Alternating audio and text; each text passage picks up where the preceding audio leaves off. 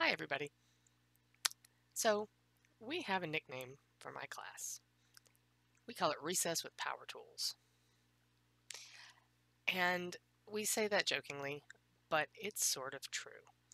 And I've been thinking a lot about this because I'm learning Spanish and I'm picking up the piano again, which I haven't played since I was like in the third grade.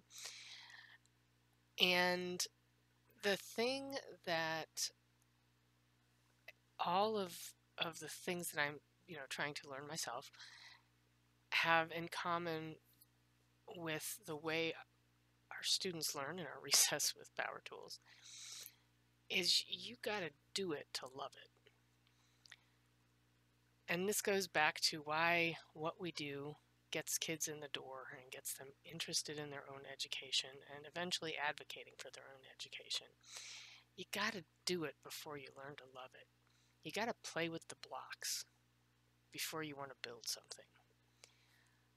In my class today, we were working in the sewing lab and we were various kids, different levels, different projects. Uh, they start on hand sewing and then we move them to simple stuff on the sewing machine and then measurements and getting into more complicated things.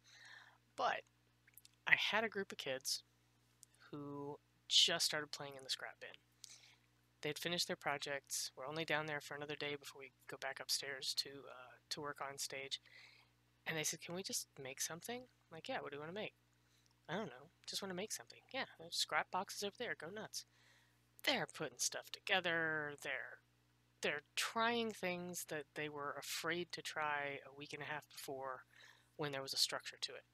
You have to play before you decide you want to learn. That's natural. That is the way we work. That's the way our brains work. You don't fall in love with playing the piano because somebody put a piece of sheet music in front of you.